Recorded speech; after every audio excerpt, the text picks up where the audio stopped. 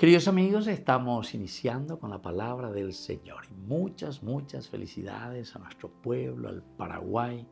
Hoy, Virgen de la Asunción, la patrona del Paraguay. Escuchamos la primera lectura desde el libro del Apocalipsis que nos acompaña, el capítulo 11, 19a y luego el capítulo 12 del 1 al 6a y el 10ab. Se abrió el templo de Dios que está en el cielo y quedó a la vista del arca de la alianza. Y apareció en el cielo un gran signo, una mujer revestida del sol con la luna bajo sus pies y una corona de dos estrellas en su cabeza. Estaba embarazada y gritaba de dolor porque iba a dar a luz.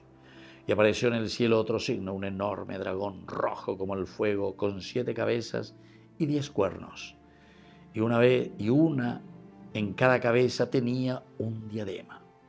Su cola arrastraba una tercera parte de las estrellas del cielo y las precipitó sobre la tierra. El dragón se puso delante de la mujer que iba a dar a luz para devorar a su hijo en cuanto naciera. La mujer tuvo un hijo varón que debía regir a todas las naciones con un cetro de hierro.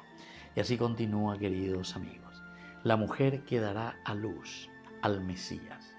Pero se dan cuenta, el dragón que está esperando ya con las fauces, como para devorar a este niño que iba a nacer. Queridos amigos, ciertamente la mujer aquí está este, simbolizando a la iglesia.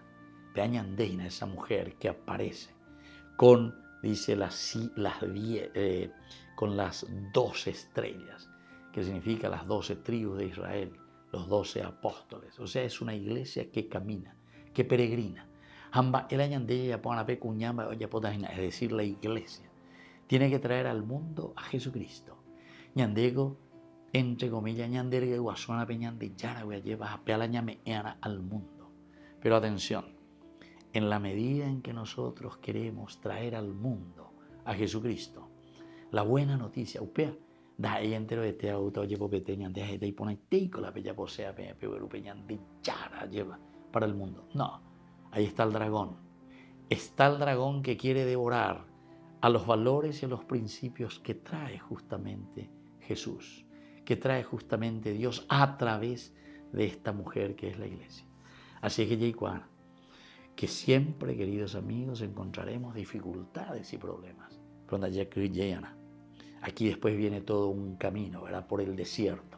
Eso es lo que nosotros estamos haciendo. Yaguatadaina, en este valle de lágrimas, ya Pero tenemos que luchar y tenemos que vencer todo lo que es negativo.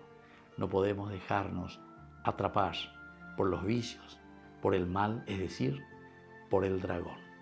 Que la bendición de Dios descienda sobre cada uno de ustedes, el Padre y el Hijo y el Espíritu Santo. Amén.